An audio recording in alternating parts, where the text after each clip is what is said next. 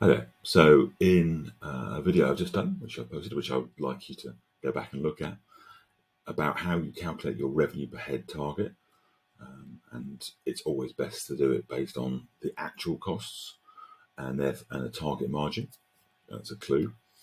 But is that a sensible target? Is it achievable? And the way to double check that, make sure it's a sensible and achievable target, is with a very simple calculation.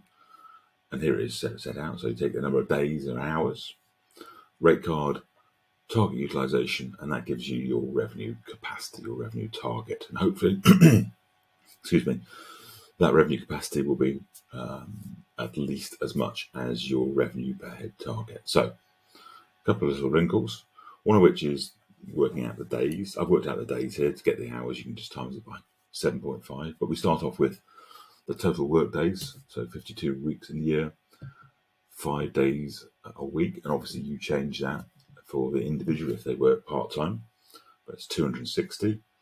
Less holidays, less bank holidays in the UK gets you to 227 working days in the year. If we take a rate card, for example, at £600 per day, uh, and then a target utilization, and this is obviously has a big impact on your uh, revenue per head. I put 60%. Um, and again, um, that's three days out of five. I don't think that's unrealistic. I don't think that's too stretching. You can go a little bit higher. And for certain uh, individuals, it should be higher. For certain people, it should be a little bit lower because they'll have wider responsibilities within the agency.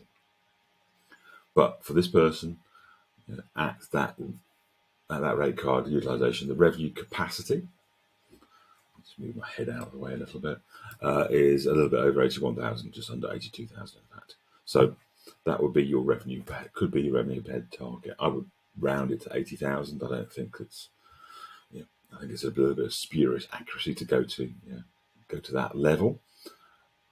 Um, but a word of warning, a few caveats uh, in this is that this calculation needs to be done by person uh, to work it out because people will be on different rates. They may be working different days. Um, although actually the days should affect the revenue per head target, it just means that you know, they'll be bringing in less revenue but at the same rate. The key one is sort of going back to the three deadly sins of underestimating, overservicing, and scope creep, because that utilization figure is working on client business and uh, working three days out of five and charging three days out of five. These three deadly sins will, will have you working three days out of five, possibly more, but only charging for two because we've, we haven't estimated enough, or we have overserviced the project, we've worked more hours than we can charge for, or there has been some scope creep. So we've, we've added extra in into the original scope of work, but we've not charged for it. So that's a big caveat, and essentially that's that's fundamental agency problem there.